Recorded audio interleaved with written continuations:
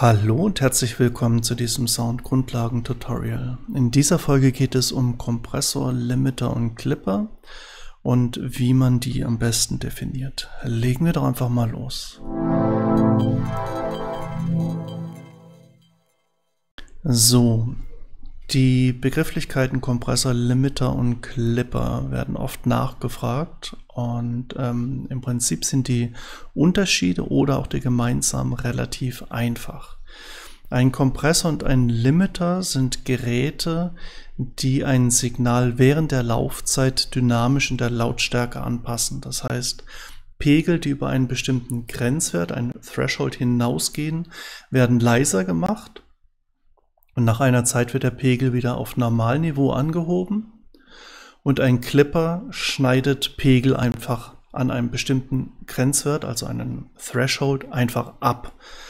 Und ähm, wie die Geräte das einzeln machen, das erkläre ich euch jetzt. Nämlich einen Kompressor.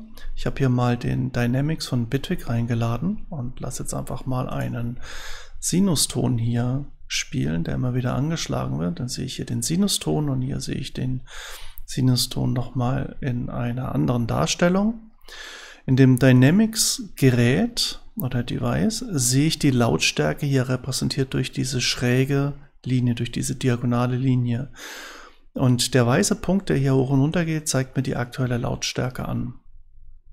Wie der Punkt wandert, das kann ich hier nochmal definieren durch diese Attack- und Release-Zeit. Das ist nämlich die Zeit, wo der, äh, in der der Kompressor sich das Signal anguckt und man sieht schon, wenn ich an der Release-Zeit rumschraube, dann wandert der Punkt ein bisschen langsamer oder schneller. So, und jetzt habe ich ja vorhin ähm, von einem Grenzwert, einem Threshold gesprochen. Und das ist hier der High Threshold in diesem Fall, weil ich möchte ein zu lautes Signal dynamisch leiser machen, wenn es über den bestimmten Grenzwert hinausgeht. Das heißt, wenn es mir zu laut wird. So, und jetzt kann ich hier diesen Balken nehmen und sagen, okay, wenn das Signal über diesen Balken hinausgeht, und dann sehe ich schon, wie sich da unten auch der Knopf dreht, dann mach etwas mit dem Signal. Und was er mit dem Signal macht, das ähm, stelle ich hier an dem Ratio ein und sage einfach standardmäßig Ratio 1 zu 1 ist, wenn das Signal reinkommt, dann liefert es 1 zu 1 weiter. Das heißt, an der Lautstärke passiert hier erstmal nichts. So, wenn ich jetzt aber sage, verändere mir das Ratio, das Ratio, zum Beispiel zu 1 zu 2, wird alles, was über diesen Grenzwert hinausgeht, um die Hälfte leiser, also durch 2 geteilt. Und je nachdem, wie weit ich mit dem Threshold weitergehe, wird das halt durch 3 geteilt, durch 4 geteilt oder wie auch immer. So machen wir einfach mal durch 2. Das heißt, alles, was jetzt über diesen Grenzwert hinausgeht, wird leiser gemacht. Und das kann ich mit einem schnellen Attack sehr schnell leise machen oder mit einem langsameren Attack etwas langsamer leise machen. Und das sieht man hier auch schön, dass diese Anfangslautstärke langsam runtergedreht wird. Ich mache jetzt die Attack noch ein bisschen langsamer, dann sieht man das noch besser. So, dann sieht man, am Anfang ist es laut und dann ist so ein kleiner Huppel, wird dann einfach leiser. Wenn ich den Threshold noch weiter runterdrehe, sieht man, wie das dann noch leiser wird. Sehr schön. Wenn ich den Attack länger mache, braucht es einfach länger, bis die Lautstärke insgesamt leiser gemacht worden ist. Und bei dem Release sage ich dann halt einfach, ähm, halte die Lautstärke zum Beispiel 600 Millisekunden, bevor du überhaupt nur dran denkst, die wieder lauter zu machen. Mache ich den Attack hier wieder ein bisschen schneller oder langsamer, sehe ich, wie sich das Ganze hier nochmal ändert.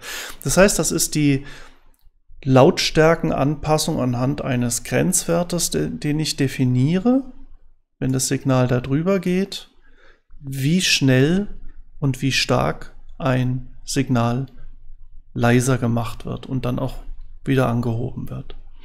So. Und ein Limiter macht im Prinzip dasselbe, nur, wenn ich jetzt das hier mal nehme, nur heißt das bei, bei dem der Threshold, der Grenzwert Ceiling, das ist je nach Limiter auch nochmal unterschiedlich, Bei manchen heißt es dann auch wieder Threshold. Aber im Endeffekt die Ceiling hier, dieser Bereich, dieser Grenzwert, der zeigt an, wo ich das Signal quasi begrenzen möchte. Und im Idealfall macht ein Limiter das so, dass er das sofort macht. Das heißt, ich habe hier keinen Anfangspeak mehr, wo ich sage, ja, warte noch so und so lange, sondern ein Limiter soll einfach sagen, okay, wenn das Signal über diesen Grenzwert, in dem Fall über ein Ceiling hinausgeht, dann begrenzen wir das Signal sofort und ich habe ein konstantes Signal hier. Und mit dem Release, das ist so, das ist im Prinzip genau auch wieder wie das Release bei einem Kompressor, ähm, wo ich dann einfach sage, okay, du kannst einfach noch ein bisschen länger warten. Hier sieht man das gut. Wenn ich das Release ganz kurz mache, dann geht das Signal runter und wieder hoch. Die Reduktion wird hier in blau angezeigt. Das heißt, hier wird es einfach leiser. Hier oben wird dann nochmal angezeigt und hier wie stark das Signal leiser gemacht wird. Und wenn ich das Release verlängere, wo ich sage, okay, warte einfach, bevor du das Signal wieder anhebst, so ein bisschen, dann sieht man, wie hier so eine Kurve entsteht, wie er dann so langsam hochgeht vom nächsten Signal, wo er das Signal dann wieder runterpackt. Im Idealfall ist das ein Look-Ahead-Limiter, das heißt, ähm, der Limiter guckt sich das Signal an, bevor es quasi ausgegeben wird, sodass auch wirklich sichergestellt werden kann, dass da nicht vorne dran noch so ein kleiner lauter Peak zu hören ist. Äh, bei einer DAW geht das wunderbar. Bei Live geht das natürlich nicht, weil der Limiter weiß ja nicht, wann ähm, der Musiker vorne laut in die Tasten oder hart in die Tasten reinschlägt, sodass dann lauter Ton reinkommt. Aber es gibt auch sehr, sehr, sehr schnelle Limiter, die ähm, das fast perfekt machen. So.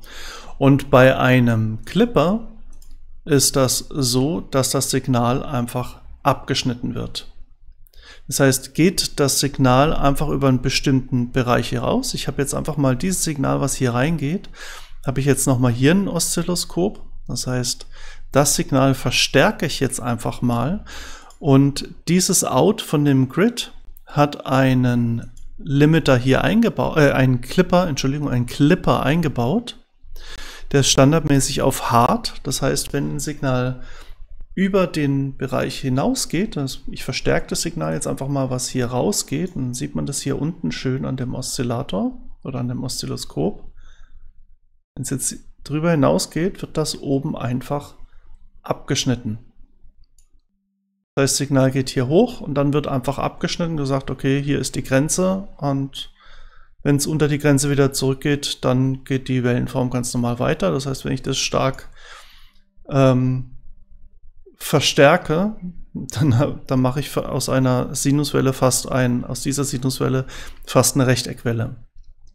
So, und dieser Clipper, der hat eben als hart als Einstellung. Das heißt, wird einfach abgeschnitten, passiert nichts. Und das sieht man hier auch nochmal an dieser Kurve. Ich kann das vielleicht hier ein bisschen größer machen. Das heißt, ich habe hier so eckige Kurven und dann gibt es den Soft Clipper und der ist so, der hat das Ganze so ein bisschen abgerundet. So, und im Extremfall sieht man das natürlich nicht, weil das, weil das hart geklippt wird. Und es ist echt hier schwer zu erkennen, aber da, wo es geklippt wird, ist so ein bisschen eine Kurve drin. Das heißt, hier wird versucht, das Ganze, den Effekt so ein bisschen abzuschwächen.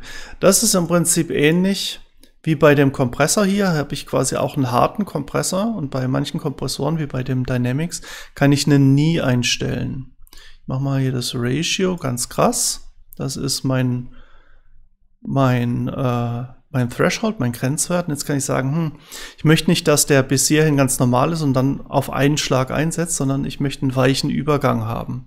Dann mache ich so eine, so eine Kurve rein, so ein Knie, so ein Nie. Und dann ist dieser Bereich bis hierhin, also so ungefähr das hier, wird quasi als weichen Übergang, bis die Kompression hier komplett einsetzt. Und das ist bei einem Clipper, ist das der Soft-Modus. In dem FX-Grid bei Bitwig habe ich das automatisch eingebaut, ohne Parameter. Das heißt, ich kann, hier, kann mich hier nur entscheiden zwischen Hard und Soft. Ich kann aber in dem FX-Script meinen eigenen Clipper tatsächlich auch noch definieren, wo ich dann diese Soft Curve, diese Soft Kurve dann auch noch mal speziell für mich definieren kann. So, Das waren die groben Unterschiede zwischen Kompressoren, Limiter und Clipper. Ich hoffe, ihr habt da jetzt so ein klares Bild. Also Kompressor und Limiter ähm, reduzieren die Lautstärke und heben die auch wieder an, sehr dynamisch. Und ein Limiter ist im Prinzip nichts anderes als ein Kompressor mit mit äh, unendlicher Ratio. Das heißt, er guckt einfach nach, okay, ähm, wenn ein Signal lauter ist, machen wir das grundsätzlich leiser, ohne Vorlauf, ohne Nachlauf, einfach mal leiser. Und ein Clipper schneidet einfach ab. Das geht dann weit, oder das ist weiterführend in den Bereich der Distortion, der Verzerrung, aber das ist ein anderes Thema. Wenn euch das Video gefallen hat, dann ähm, liked das Video, gebt mir einen Daumen abonniert den Kanal, drückt die Glocke, teilt die Videos weiter, kommentiert darunter eure Erfahrungen oder was ihr noch wissen wollt. Und ich hoffe, wir sehen uns beim nächsten Mal wieder. Macht's gut. Bis dann. Ciao, ciao.